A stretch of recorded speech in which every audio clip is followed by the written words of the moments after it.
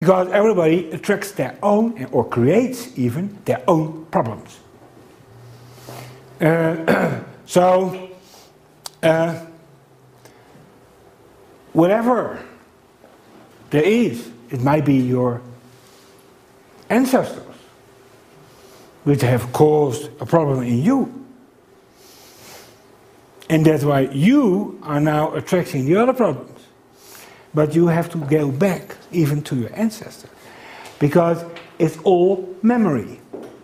And every event that ever happened in your life, or the life of your parents, or anything like that, it's all stored in light waves, in biophotons. And some event that might have happened 20 years ago, your cells have at that moment stored it. But your the light, it's stored in an information package, in a biophoton, which has at that moment it was emitted. And now it is 20 light years away. But this memory you can recall instantly, no matter how far it is, because time does not exist. Time stands still. We move in time, but time stands still. That means that the past and the future are all one. They're all the now. Uh, uh, time is a static, static spiral, and at the moment we are here on the spiral, and uh, the future is here on the spiral, and there is the past on that, there on the spiral. But the spiral always stands. It's a standing wave, uh, as they call it. So, uh, if you ask the body, the body doesn't block anything. Well, it can. If it's under very heavy stress, then the body lies. Then the body produces endorphins. The endorphins are the body's own morphine. And it's only produced if the body is under stress. That's why a lot of people with uh, ME, chronic fatigue, they have so many endorphins. You can't see anything. You first have to break the endorphins down, then you then the body starts talking truth again. But as long uh, as there are endorphin production, you can't see anything. Also, people with AIDS, you can't see anything. There are so many endorphins. And that's why they say AIDS can be, for example, uh, it can be decades before it manifests. but now it depends how long is the body prepared to suppress, or how long can it suppress.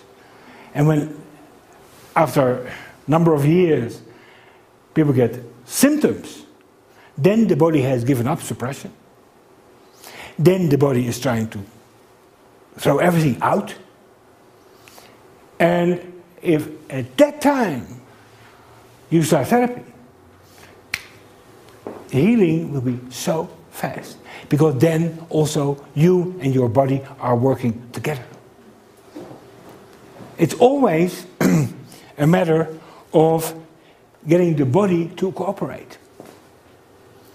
And nine times out of ten, this does not happen. You want, as therapists, or you want your body to heal, but your body, you take pills and this, and your body says, hmm, to me, there's nothing wrong. I don't want to cooperate. And the trick is always to get the body to cooperate. Uh, because you are not your body. You live in your body, but that is different. And if there is disease problem in your body, then your body and your soul are not connected. then because the soul is the one that has to heal. We all know that uh, any person can only heal him or herself. But it's not himself, it's his or her soul that heals. But you can only do that if the soul is capable.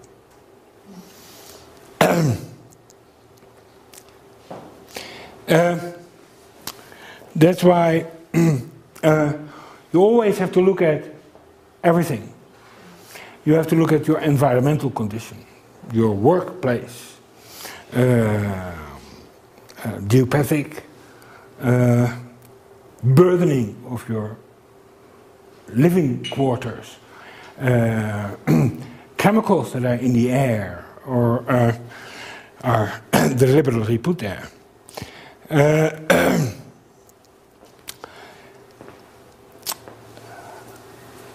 You have to look at everything.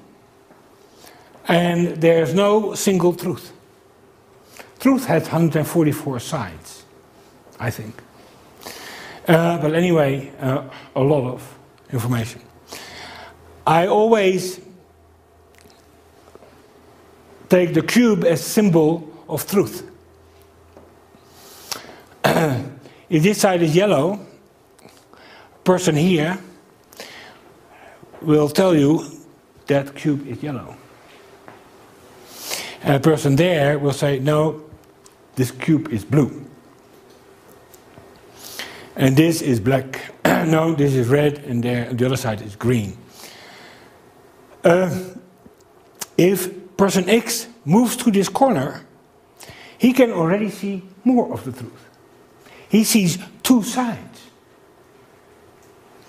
And by movement, you broaden your consciousness. but no matter from which side you come, it all leads to the top, and the top is white. But one thing you can never see is the bottom. That dark. And that's where all the information comes from.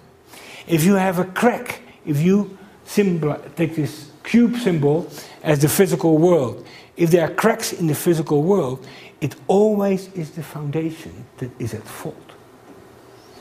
If you have a crack in your foundation, then you automatically get cracks in the physical structure. And this physical foundation is invisible, but not unmeasurable.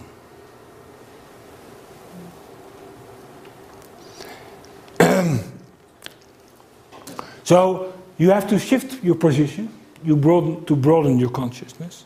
If you go up, you get a higher consciousness. But to find, to find the foundations, you have to go down. And if you go down, that's where all the causes are. Uh, this we already had. Uh,